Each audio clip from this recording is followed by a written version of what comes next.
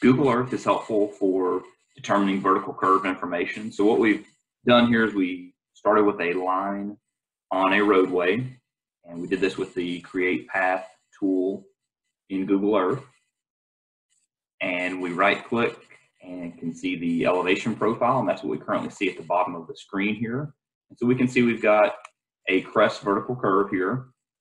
And what we're gonna do is look at how we can extract some of this information from this from Google Earth to build our parabolic equation for this vertical curve.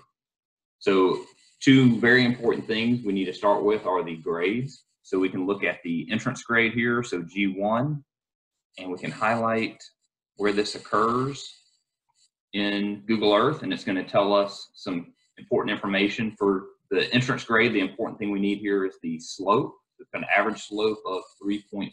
So that is going to be our G1.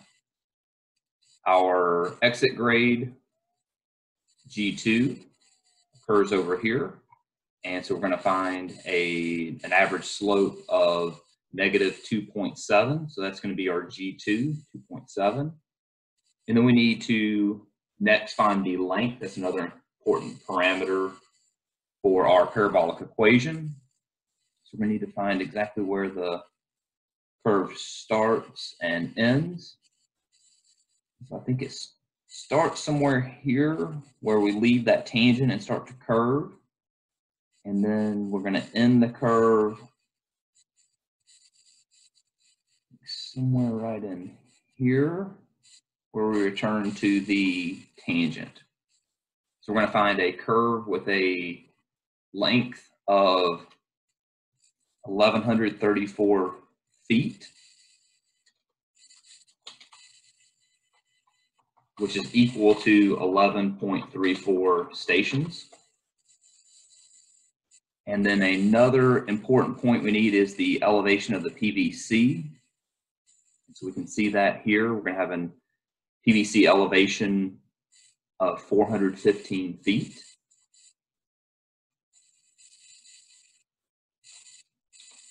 And a couple other things would be nice to check so we can use our parabolic equation to confirm that our Google Earth data matches up well with this. And another thing just to look at on Google Earth, whatever we highlight in our graph also becomes highlighted on our map. So it's nice to see that relationship between where we're highlighting and what's actually occurring on the ground.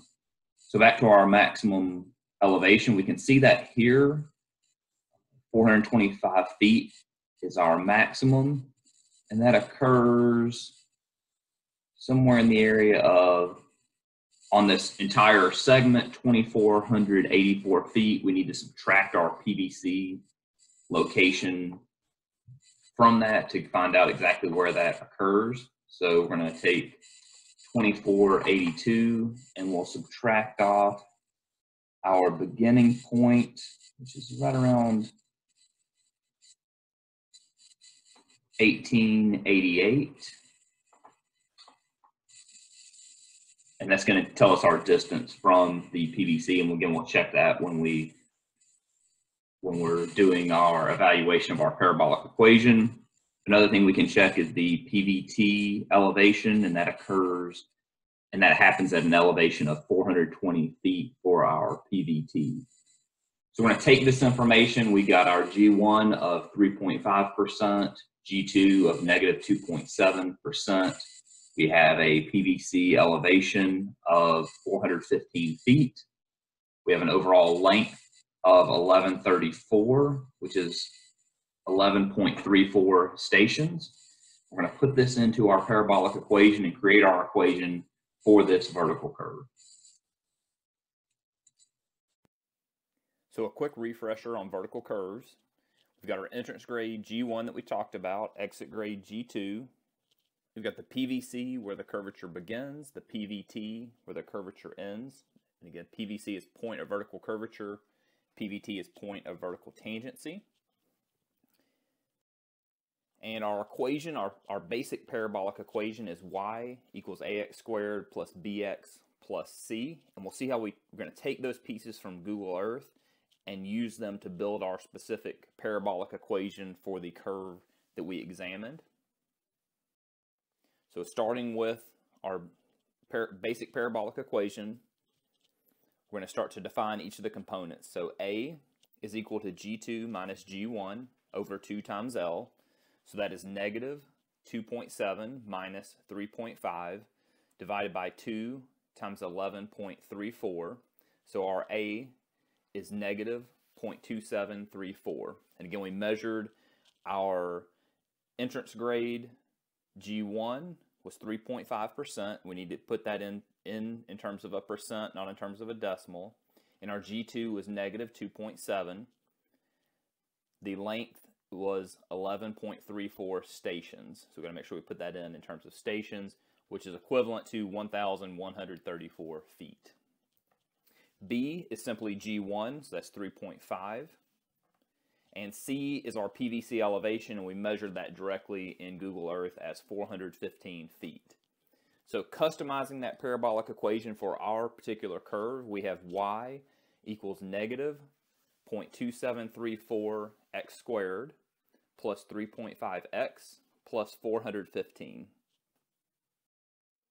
So the first thing let's do with that parabolic equation, let's check that PVT elevation. And we measured that as 420 feet in Google Earth. So the very end of our of our vertical curve, which is equal, the x value we're going to use is equal to the full length, which is 11.34 stations. So we're going to take our equation that we developed, our parabolic equation that's specific to this curve. We're going to plug in that x of 11.34, which is equal to the full L or the full length of the curve. And when we work that math out, we're going to find a y, an elevation of 419.5 feet.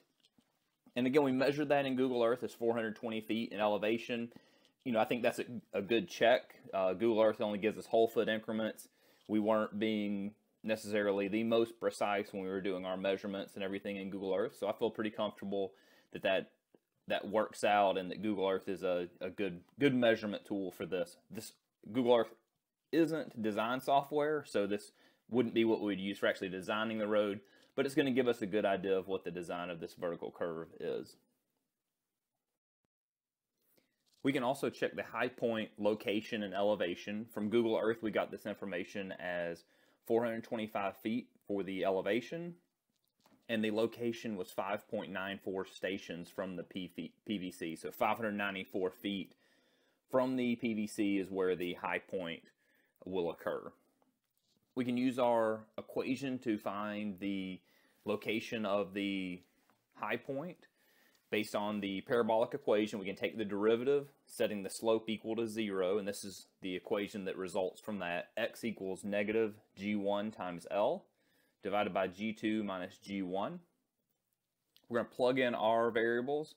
So x equals negative 3.5 times 11.34 divided by negative 2.7 minus 3.5 will give us an x value of 6.4. So based on parabolic equation, the high point occurs 6.4 stations from the PVC. I'll give this kind of a passing score. It's less than 10% difference from the value that we found in Google Earth. Again, Google Earth, we weren't trying to be 100% precise, but I still think this gives us close enough in the ballpark that we can have confidence that using the information from Google Earth can replicate uh, the design that we see on this roadway. We can also find the elevation of the high point using our parabolic equation. So we're going to take our parabolic equation, we're going to plug in the x that we calculated for the high point of 6.4 stations, and we're going to find a high point elevation for the parabolic equation that we use for this curve of 426.2 feet. Comparing that to 425 feet, I think is a good approximation. Google Earth only gives us those whole foot increments. So 426.2 is pretty close to that 425. So again, Google Earth is a pretty good approximation, a pretty good tool to use for building and developing this parabolic equation and having some confidence that the values that we, we get from that parabolic equation are representative of the actual conditions.